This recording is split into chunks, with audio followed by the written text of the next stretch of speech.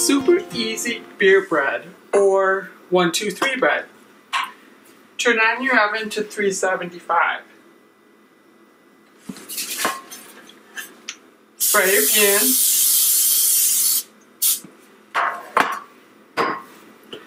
You'll need one can of beer,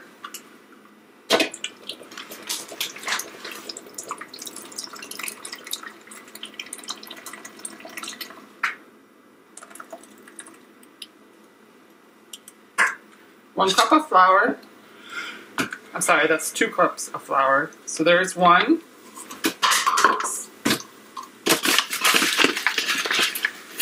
I'm trying to do it really fast because it's supposed to be one, two, three fast, right? Level off your flour. So two cups of flour. And three tablespoons of sugar. Mix it really well.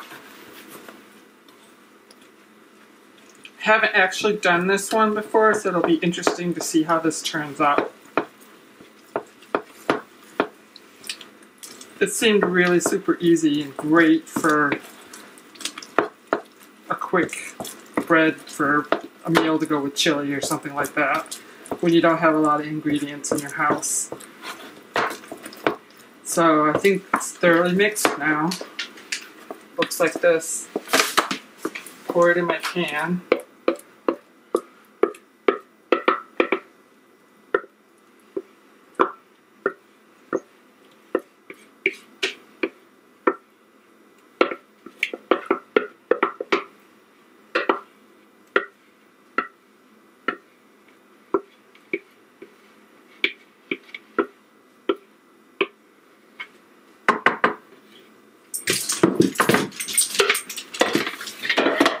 Okay, the recipe says